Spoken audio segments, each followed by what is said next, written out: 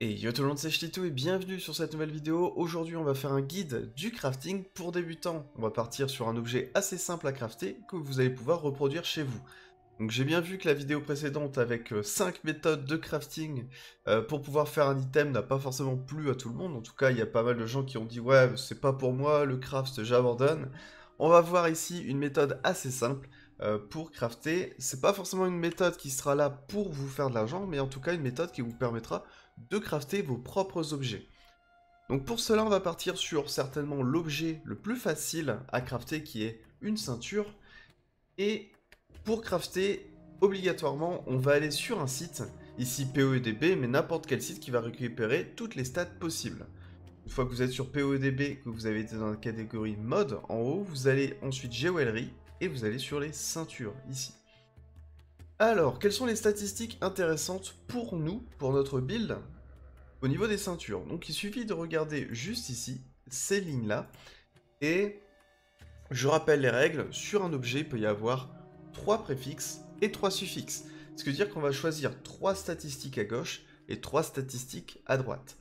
Donc au niveau des statistiques à gauche, les préfixes, nous avons les points de vie, oh, j'ai cliqué là-dessus, euh, les points de vie qui sont intéressants, le bouclier d'énergie, pourquoi pas, si vous faites soit, soit un build Energy Shield, soit un build hybride. Moi, par exemple, mon build est hybride à la fois point de vie Energy Shield. On peut avoir de l'élémental de Mage Attack, qui peut être cool pour les builds comme Tectonic là, mais builds qui attaquent de manière élémentaire. Ça peut être sympa. Et ensuite, c'est vraiment les statistiques les plus importantes. Euh, si euh, rien de tout ça vous intéresse, pourquoi pas de l'armure? L'armure, c'est pas nul, mais ça peut être en plus. Au niveau des suffixes, euh, euh, d'autres stats intéressantes comme les résistances élémentaires, Fire, Cold, Lightning, ainsi que la résistance KO. Généralement, c'est les trois stats qu'on vise, mais il y a une autre stat qui peut être vraiment utile, c'est la force. La force qui nous donne des points de vie, 2 de force égale 1 point de vie, donc ici on peut gagner 30 points de vie de plus avec un 60 de force, C'est plutôt intéressant.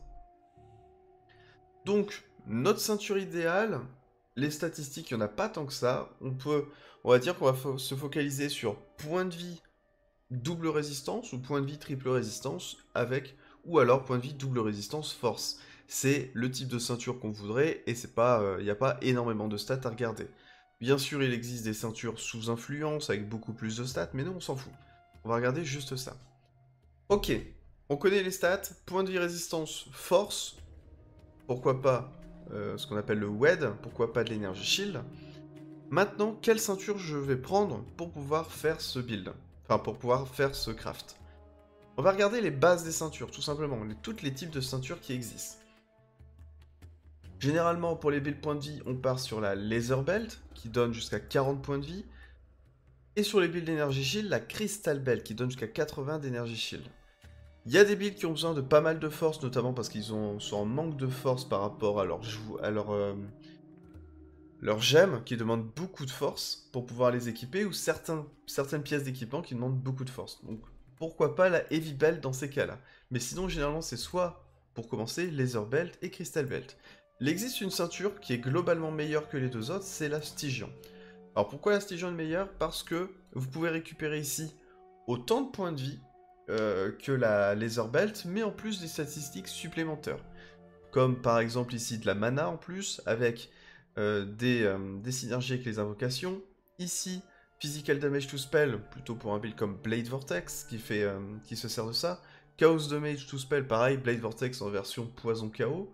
Ici, de la vitesse de déplacement, ici, de la mana régène. Donc voilà, c'est... Hmm, c'est peut-être un petit peu plus cher, mais à plus haut budget, il y a vraiment des trucs de ouf, genre point de vie, énergie shield, double crit multi. Enfin, c'est pour ça que si on peut, la Stygian Wise est la meilleure à utiliser, sachant que même euh, les petites, euh, comme ça, les petites orbes, là on voit 4, 4 chisels, 3 KO, c'est pas non plus trop trop cher. Ok. On a décidé la Stygian Wise. Maintenant, il faut décider de l'item level de l'objet. Alors, comment définir l'item level de l'objet? Comment on le sait? Vous allez appuyer sur Échappe, option UI, et cocher ici Description des modes avancés. Description des modes avancés vous permettra d'avoir pas mal d'informations sur vos objets, et notamment la toute première qui est en haut, l'item level. À quoi sert l'item level? L'item level va définir les statistiques que vous allez pouvoir récupérer sur l'objet. Par exemple, on imagine qu'on a un objet à, à 60 items level. 60 items level, ici, je peux avoir toutes les stats jusqu'ici. Parce que celle-ci, elle est trop haut item level pour que je puisse récupérer cette stat. Donc si on veut le maximum point de vie, on va dire, bah il nous faudrait 64 d'item level. Donc on va prendre une ceinture avec au moins 64. Si vous faites ça, au niveau des résistances, euh, vous allez pouvoir avoir le T3 résistance, mais par exemple le T2, ce n'est pas possible. Et le T1, il demande 84 level. C'est comme ça qu'on va essayer de définir l'item level de l'objet que l'on veut récupérer. Donc, euh, pour moi, ça, je n'en ai pas besoin. Je m'en fiche d'avoir le, le tiers 1 élémental de mes joues attaque. C'est pas une statistique que j'ai besoin pour mon build, je joue pas un build euh, physique mêlé. Euh, l'armure, on s'en fout un peu, c'est une stat secondaire. Le reste, on s'en fout ici. De l'autre côté, la force tier 1, ça peut être intéressant. Les résistances élémentaires, c'est intéressant, 84 level. Euh, le reste, on s'en fout. Donc, pour moi, je pense qu'on va partir chercher une ceinture à 85 level pour essayer d'avoir le tir 1 force et avoir la possibilité d'avoir les tirs 1 résistance et le tir 1 life. Pourquoi je prends pas 86 au cas où? Parce que quand vous prenez plus d'items level, ça vous donne moins de chances d'avoir euh, les stats que vous voulez. Par exemple, ici, euh, cette stat-là que je n'ai pas forcément besoin, même toutes ces stats-là que j'ai pas forcément besoin, bah, le fait que je puisse l'avoir en plus fait que j'ai moins de chances d'avoir les stats que je veux. Pareil ici, ça me fait que j'ai de l'armure en plus, donc c'est pas forcément, euh, pas forcément le mieux. voilà. Et pareil, après, plus tard sur les stats influence, plus on va monter d'item level, plus ça va, plus ça va ajouter des stats. Maintenant, autre chose que je veux vous dire. L'item level va aussi dépendre de l'endroit que vous pouvez farmer le plus haut. Par exemple, si vous faites que des tiers 1, tiers 2, tiers 3, vos graines ne seront pas assez de haut niveau pour pouvoir crafter des, casques 84 level. Donc dans ces cas-là, il faut à nouveau regarder euh, les choses. Donc, tier 2, tier 4, ça doit être du 60... des maps level peut-être 75, 76. Euh, du coup, en termes de résistance, on voit ici 72. Pourquoi pas au niveau de la force 74. Et la, vie, c'est bon, c'est 64. Euh, et ici, 74. 74 e-level, vous pouvez pas farmer des hauts tiers, peut être pas mal. Nous, on va partir sur une Stygian de type... On va le refaire. Une Stygian 85 level parce que je farme de la, de la. On va marquer Stygian. Hop, on va marquer ici item level 85. On lance. Et ensuite, on va faire aussi dans item rarity non unique. Ok. Et maintenant, on va essayer d'acheter une ceinture, donc ça vaut 3 KO. Budget de départ 3 KO pour nous. Je pense que si vous prenez euh, une buy item level, vous allez, euh, ça sera beaucoup moins cher, donc on sort les 3 KO. Et maintenant, on va spammer les gens. Tiens, toi, ah, je suis en DND, hop. Bonjour, je voudrais t'acheter ça. On va essayer de spammer. Hein.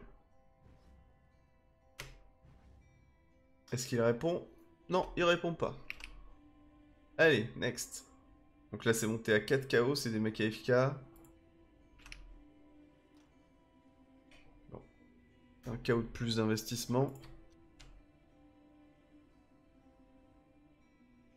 Il est chaud, lui.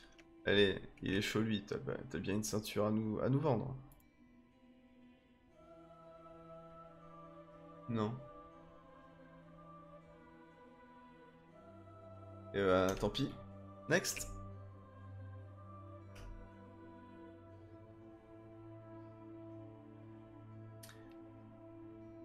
Toujours pas. Encore un petit peu. J'ai pas l'air. J'ai fait le prochain. Ouais. Hop là.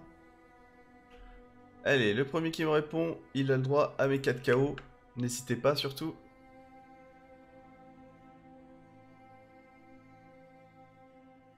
Toujours pas. Personne ne se déplace pour 4 KO. Ok, le mec il l'a vendu. Ok. Prochain. Mati Jojo, dis-moi tout. Est-ce que t'as une ceinture à vendre? Non. Ah, si, 4 KO. Ok, nous avons notre ceinture. Nous avons la base de l'objet. C'est sur ça qu'on va crafter. Et comment on a fait pour crafter ça? C'est parce que je me suis dit que j'ai besoin d'une ceinture euh, qui pourrait me servir pour mon build. On a analysé le type de ceinture le mieux qu'il pourrait y avoir. Et on a vu qu'une Stygian Wise 85 level serait le mieux. Euh, vidéo. Euh, ensuite, maintenant, on va aller dans le jardin. Donc, comme je l'ai dit, cette méthode va... On va juste se servir du jardin. Donc, le jardin, en plus, on va servir que des graines de tir 1, donc il y en a spécial. Hein. Vous plantez des graines, les graines que vous allez récolter par la suite. Euh, c'est pas des graines spéciales, elles ont rien de particulier, à part que... Euh, non, il a rien. c'est juste des graines de tir 1 que j'ai accumulées. Ok, maintenant, on va, hop, lancer toutes les graines. Vous pouvez lancer tout d'un coup ou pas, ça change pas grand-chose. Parce que c'est plus rapide de tout lancer d'un coup, mais... Hop, on va taper. Tout demander ce que c'est mon build. Euh, essayez de l'ignorer, le build est beaucoup trop cher. Ok, nous avons notre ceinture. Et maintenant, on va la mettre ici. Ici, on me dit, ça va reforger mon item en mettant un mode de défense. Alors, qu'est-ce que ça veut dire? Ça veut dire que ça va reforger mon item en mettant au moins un mode de défense, comme ici, l'énergie shield. Donc ici, il y a le tag défense. Et il y a le tag défense ici, pour l'armure. Donc j'aurai forcément soit de l'énergie shield, soit de l'armure. Et en fait, ça va fonctionner comme une arme de chaos. En fait, ça va relancer votre objet. Je lance. Ici, par exemple, j'ai eu point de vie, résistance élémentaire et énergie shield. On aurait pu déjà partir sur ça pour commencer. Déjà, c'est un item qui est plutôt pas mal. Euh, mais le problème, en fait, avec les plantes, on essaye d'avoir un maximum euh, d'objets, de statistiques avec des flags, avec ce genre de choses. Euh, mais pas ce genre de stats. Parce que ces stats-là, on pourra pas les enlever. Avec le jardin, on peut. On peut enlever les, statistiques avec des, euh, avec des tags. Donc, il y a le euh, Enemy Stun Threshold, donc ça fait un peu chier. On va reroll. Ici, on a quoi? Point de vie. Énergie Shield. Plutôt pas mal. Plutôt pas mal. Oh, ça va aller vite cette vidéo. je, je vous ferai voir ce que j'avais fait juste avant aussi. Euh, ok. On a une ceinture avec un bon taux de points de vie, de l'armure, on a même de l'énergie shield et de l'armure en plus. Euh, les points de vie, c'est un T2, ce qui est quand même plutôt correct. On, a un truc plutôt bien. Qu'est-ce que nous permet le jardin? Le jardin nous permet d'ajouter des statistiques de type tag, enfin ce genre de choses. Par exemple, on pourrait rajouter euh, du feu. Donc si on rajoute le feu, ça rajouterait de la résistance feu. On peut rajouter du froid, la résistance froid. On peut rajouter de la lightning, résistance lightning. Si on, on peut rajouter de la vie, mais ça on peut pas. On peut plus récupérer la force, parce que la force il faut l'avoir par défaut sur l'item. Mais du coup on va faire ça.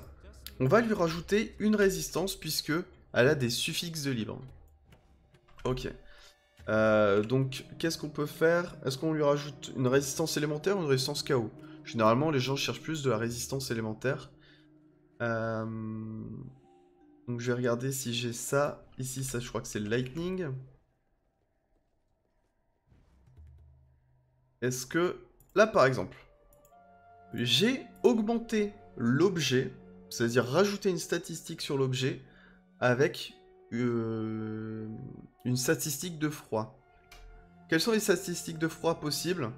On lit bien et on voit qu'il n'y a que le colrez. Donc on va le faire et... Oh Oh 47 de colrez. Ok. Alors là, on pourrait faire pareil avec le feu, par exemple. Si vous voulez vraiment une très bonne ceinture, là, euh, j'aurais pu faire Add Fire et avoir, euh, avoir Essence Feu si je n'avais pas eu de bonnes statistiques, Par exemple, j'ai pas de bonnes statistiques de vie. Je peux faire retirer de la vie et remettre de la vie. Ça va retirer la statistique de vie et la remettre. C'est grâce à cette stat-là.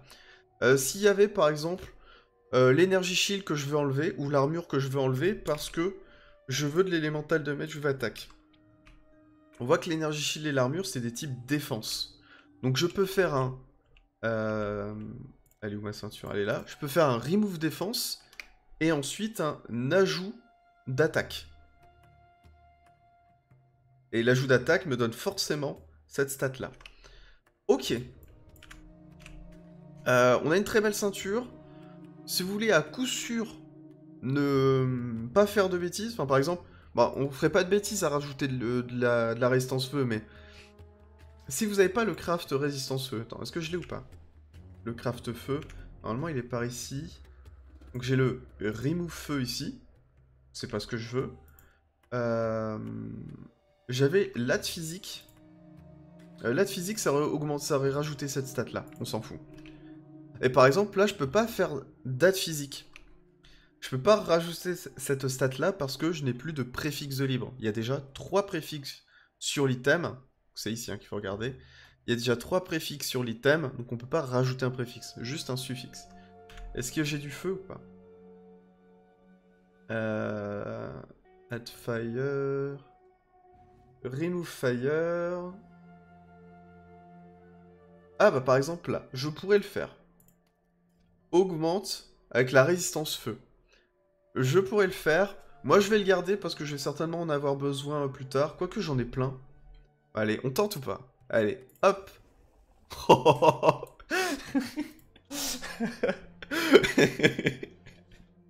Ok Ok, bravo Cette ceinture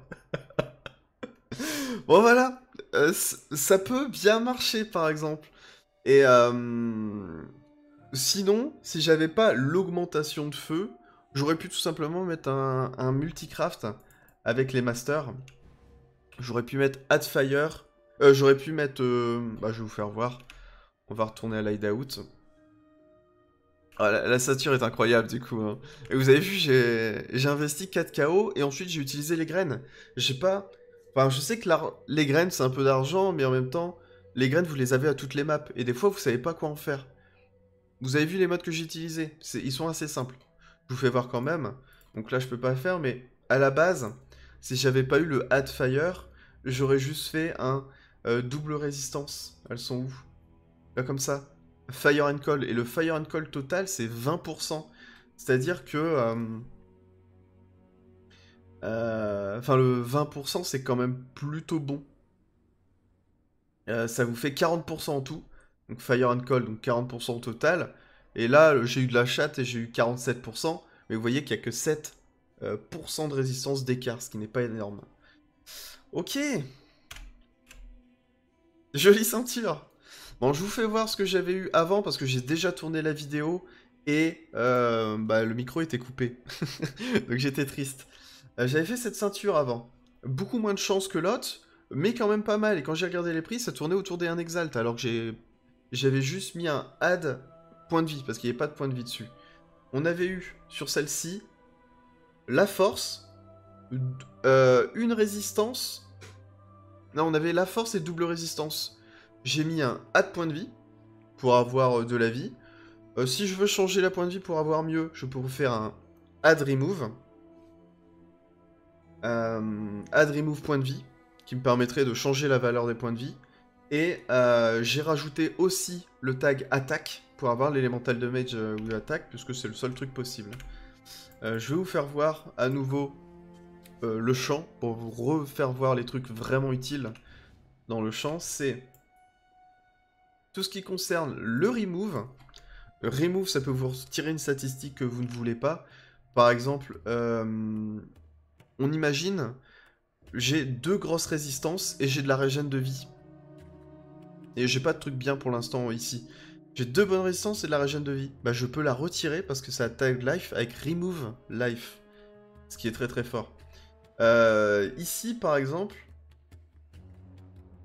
Euh, bah comme ici par exemple cette ceinture là. Parce que je suppose que je vais la garder, parce qu'elle est vraiment mieux que la mienne. Même si la mienne me donne de la force, donc à voir. À voir si je la garde ou si je la revends. Mais, euh, par exemple, la vie, c'est que 85. C'est un peu dommage. Ce qu'on peut faire, c'est... Euh, ici. Add Remove Life. Ce qui te permet de changer la valeur de la vie aléatoirement.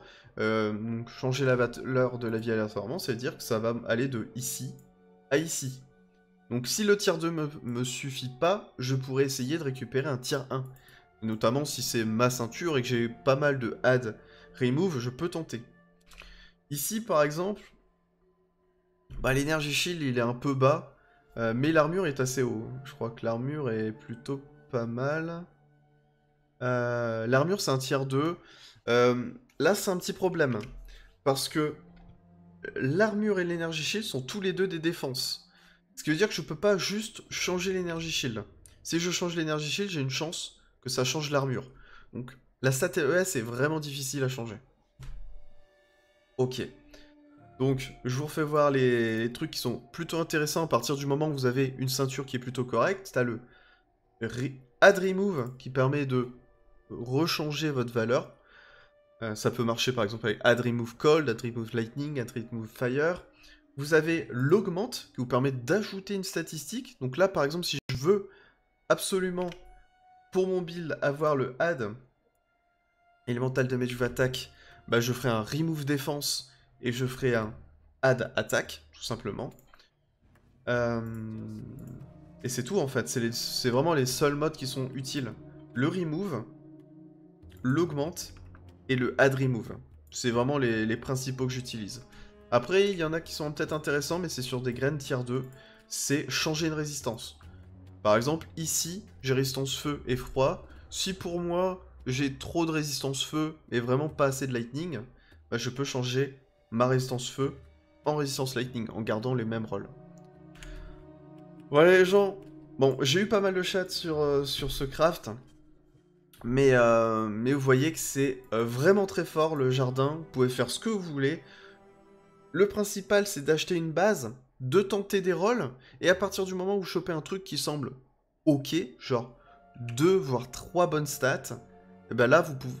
Enfin 2 voire 3 bonnes stats sans avoir des statistiques euh, non taguées, ou alors faut la vouloir. Par exemple la, la statistique force, c'est pas un truc que je peux changer avec le jardin, mais si je l'ai, je veux la garder. Euh, mais sinon, bah, par exemple, si j'avais eu le réflexe physique qui est vraiment nul, bah, j'aurais pu le retirer avec un remove physique. Si j'avais eu... Euh, la mana, je peux pas la retirer, par exemple.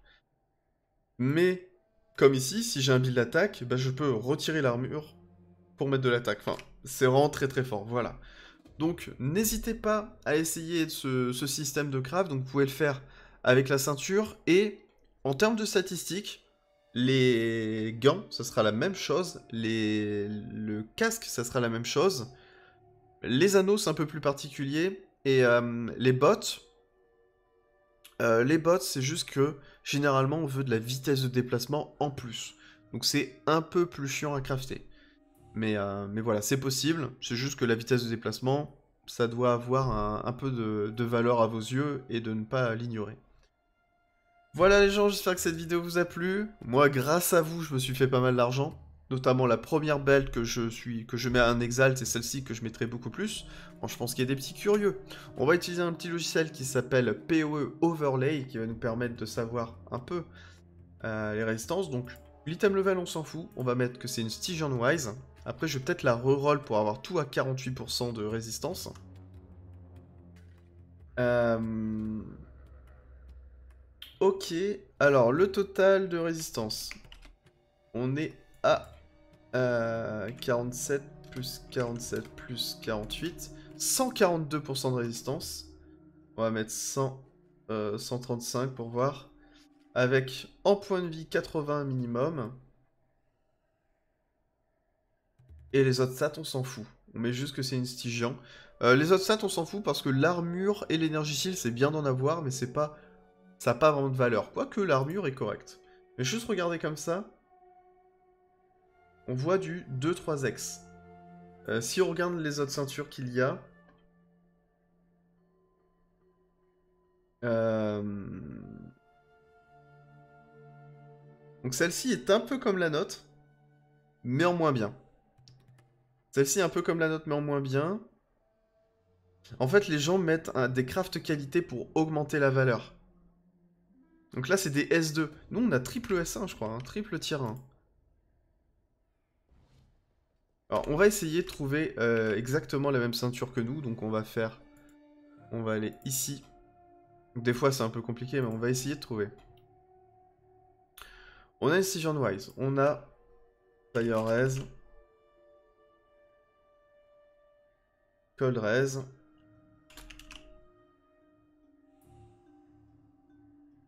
Lightning Raise.